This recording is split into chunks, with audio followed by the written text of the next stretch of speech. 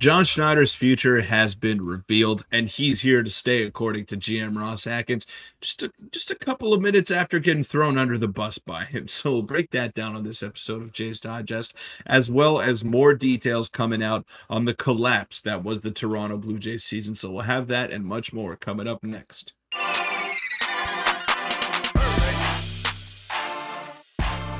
What's up, Jays fans? I'm your host, Peter Vryonis, alongside host Nick Gosse. And uh, more shocking details are coming out here. Just a couple minutes after throwing John Schneider under the bus, Ross Atkins reveals that he's going to be back for the 2024 season and that he's here to stay. Uh, fresh off of signing a three year deal prior in, in the offseason prior, he's going to be here for the long haul, according to GM Ross Atkins. And frankly, uh, frankly, uh, I don't know if I want Ross Atkins here for the long haul after those comments. I was not happy with what I heard out of him in that press conference, but it is what it is. And he also revealed some more details as to why the Blue Jays seemingly just collapsed on Wednesday against the Minnesota Twins. But Nick, more bombshells getting dropped as the minutes roll along here. And I mean, I, I just don't know what to make of it. it it's, um, it's shocking, it's disappointing, and it's kind of expected as well out of this Blue Jays team. Yeah, what a way to kickstart a, Thanksgiving weekend for all the you know Canadians out there, and uh, some yeah, just crazy stuff. And we kind of alluded. If you checked our video earlier today, this was before we realized that John Schneider was returning. We kind of alluded how it could kind of go either way. Before we get into that, quick reminder: seventy-one percent of you guys aren't subscribed, and me and Peter have been grinding daily videos. So if you love Jay's content, make sure to hit that button. Now, Peter, let's get into it here this is the you know the highlight of the the video, and then we'll also go into some of the other crazy details that he revealed about how his team yeah, went on to collapse. So Peter Ross Atkins says John Schneider will return as the Blue Jays manager in 2024. The rest of the staff is unknown right now. Obviously, we know Luis Rivera retired. So everyone else, the bench coach Dave Hudgens, Guillermo Martinez, I hope doesn't come back, but all those guys are up in the air. But in a weird press conference where if you checked out earlier today's earlier video, Ross Atkins called out John Schneider as blunt as you can in the same hour long, whatever it was, 45 minute interview or press conference, he announces that he will be returning. The weirdest thing I've ever seen. If Jays are trying to stay under the radar and stay out of, you know, media fire, they're doing a horrible job at it. What are your thoughts on this news that John Schneider's returning? Doesn't make sense to me. Uh, okay, if it was his call and it worked out the way that it did.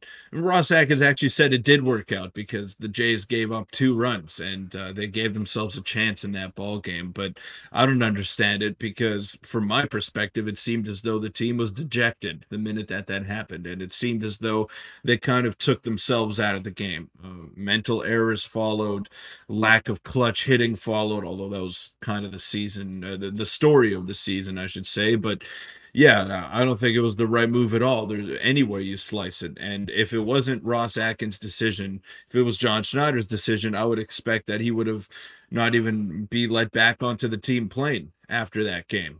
But he'll be back for next year. So there's your silver lining if you're if you're John Schneider. It just doesn't make sense to me, Nick. I I was shocked by what I heard, and, and I can't say it enough. It's just a bad look for your leader to go out there and call your coach out for a decision that ultimately we just we're going to keep dwelling on over the offseason. But yeah, did it cost them the game? Maybe. Did uh, did the zero runs also contribute to that? Yes. So for him to answer these questions in this manner and, and to not take any sort of accountability because you got to believe that Ross Atkins has his fingertips on some of these decisions that are made on the field. And I just don't believe that it was solely John Schneider's call to make.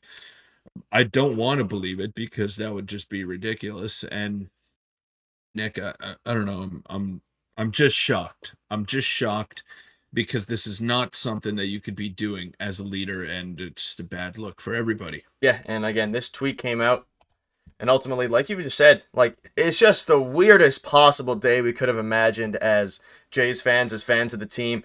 You don't see this happen for many organizations, and usually, you know, Mark Shapiro and Ross Atkins, Peter, as you know, unlikable as some they may be, or as you know, people don't like them. They're usually decent and pretty good at speaking to the media. This is very far away from what Ross Atkins usually does regarding him calling out John Schneider and then saying that he's going to be back as manager. Makes sense because they probably don't want to admit their failure of manager signings two years in a row. But I also, you know, show some empathy for John Schneider, who uh, was thrown under the bus, and whether it was his decision or not, the fact that he's coming back, I don't think he's going to reveal if it was Ross Atkins' decision, because obviously he wants to, you know, maintain his job. But Peter, crazy stuff, and uh, we can still talk about that. But let's also go into some of the other quotes that Ross Atkins said, because he had a few heaters here in a, in a bad way per se.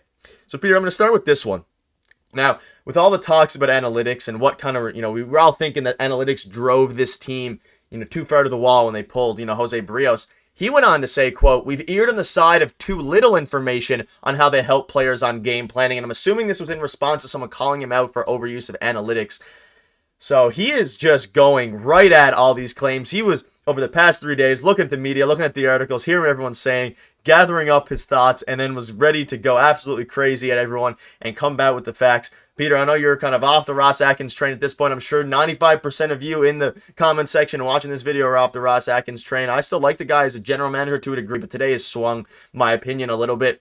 Peter, eared on the uh, side of too little information from him. I've lost all respect for Ross Atkins after this presser today, and I I thought he was a great um, front office uh, executive. I, I, thought he was a fantastic general manager, and I thought he pulled the right strings last offseason. But after these 45 minutes of just spewing garbage that I just heard out of Ross Atkins, I've lost all respect for him as GM, and he's not the guy to lead this team. He's not the guy to lead this team. That is the conclusion that I've come to here. And yeah, okay, you've eared on the side of too little information. That's just not true. You traded uh, a two-time Silver Slugger winner for a reliever. I think that was a good trade. You you tried to build your team on on how many defensive runs saved you could accumulate. That's how you tried to build this team heading into 2023, and it backfired. You didn't have a backbone offensively. Great, you could pitch and you could play defense, but you couldn't muster up two runs in a in a 18 inning uh, playoff window. It, it it was ridiculous. The roster construction, I thought it was good. I thought it was fine heading into the season, but clearly something needed a change. And Ross Atkins didn't make a change at the deadline. He just added to what was already good on the team. He didn't decide to go out there and make the offense any better. He didn't overexert some of his assets to go out there and uh, and add to what was an already pretty talented team. He didn't do enough. He didn't do enough. He saw he was watching that team in the entire first half and decided that this was the team that was going to go far in the playoffs. He fell flat on his face. I mean, he didn't build the right team. He didn't say the right things at the end of the season. And now he just looks foolish. You could talk about John Schneider all you want, but I think no one looks stupider in the Blue Jays organization than Ross Atkins right now. And I think this is him trying to save his job. I think this is him um, kind of saying that John Schneider is going to be back because he knows that he did have his fingertips on this. And uh, I don't know. He's kind of appeasing Mark Shapiro in that sense, and just just terrible, terrible, terrible. I don't know how else to slice it here, but like I said earlier on in that bit, I lost all respect for Ross Atkins, and I think he's the first one that needs to go when the Blue Jays make their off-season overhaul in a, in a few weeks. Yeah, and there's kind of two different ways you can look at it. Uh, you can be on the side of Ross Atkins, and it, uh, regarding you know if it was John Schneider's decision, then you think you know John Schneider should be fired. That is the case. I don't know exactly what you know positive gain Ross Atkins gets from publicly calling him out. At least say it was a collaborative process or something of those words that Ross Atkins usually says. But a couple other tidbits here before I wrap up and let you guys, you know, enjoy the rest of your, you know, weekend and in a crazy day, the craziest Blue Jays day I can remember in a while, really, just with all the news that's broken. And Peter, you sent me this and it's very, very interesting. So this was Jeff Passan's kind of thought in the collapse. He said, you guys have seen this coming for six months and it still exceeded expectations for how bad it was and well said. That was in Blair and Barker show. I mean, he, he hit the nail on the head. I mean, I was I had low expectations coming in. We stayed optimistic. We thought that maybe the Jays had a chance, and they just completely fell flat on their face, like you said. And now to see Ross Atkins come out and say some of this stuff is uh, is crazy. And like I said, conversation about the rest of the staff is ongoing. The strategy was one that in the end was effective because only allowed gains in Gate two. Makes absolutely no sense. Not only is that kind of objectively false, yeah, only two runs. But Jose Berrios, there's a higher chance of him giving up less than two runs in the rest of the game than there was of Yusei Kikuchi coming. I'm uh, I'm off the the train for at least right now. It made no sense to me, Peter. I know you're very very stern right now on Ross Atkins, but like to me, I don't really know where they go from here. Obviously, John Schneider's coming back. Ross Atkins probably isn't going to lose his job. So we're just going to run it back with the same manager, same GM after this. Who knows? Maybe John Schneider resigns. Yeah. Who, who knows? Stuff will happen over the next week, two weeks, months, up until, you know, the regular season starts. But I want the team, after, you know, this hopefully boils down, to focus on improving the team and less about calling out our other managers. But any final thoughts before we wrap up? What's been a crazy day?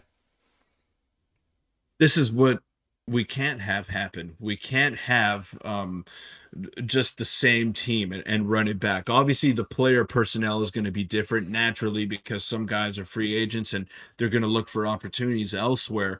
But the, a big problem was some of the coaching staff, some of the approach on the team, and and a lot of the approach in the front office as well. They just didn't do an adequate job to support the talent that was available on this team. You could talk about the underperformances all you want. Obviously, Vladdy wasn't the Vladdy that we all know and love. Bo, uh, to a certain extent as well, underperformed. He was under his career numbers. And those are the two guys that are supposed to be the driving forces for this Blue Jay team. And they came up short. They came up well short of those expectations that have been set on them going into the season but a big part of the problem was also the coaching staff and it was also the front office. And for them to just run it back with that same exact group over there with the same exact core players it's just not the right thing to do man. And uh, it's it, we're gonna it's insanity at this point. You're you're running into a wall expecting a different result every year, and it's just not changing. It, it looks the same year in year out. And if you run it back with the same front office, we're going on uh, I think seven or eight years now that Ross Atkins has yep. been here. Seven. What is what has he done? What has he done to change the narrative? He's done nothing. So they got to be better in all facets of the game and that all starts from the top with your general manager and it trickles down to the coaching staff and if they go with the same guys, then I think we're we're set up for another long season and then another off season of many questions if nothing changes. Yeah, and hopefully that uh, you know that changes going into the. Hopefully some changes happen, whether that's on the personnel front, whether that's on the players, whether whatever. I'm expecting some big changes, and hopefully that is the case. But that'll wrap up the video. Your guys' sport's been unbelievable. We've been pumping out tons of videos, and uh, Peter Ross Atkins just gave us a lot more stuff to talk about over the coming days. So stay tuned for that. If you want to check out our video from earlier today of Ross Atkins calling out John Schneider, and it was probably the craziest video we've made in a while, click it. It's on your screen right now. Thank you guys for watching, and we'll see you in the next one.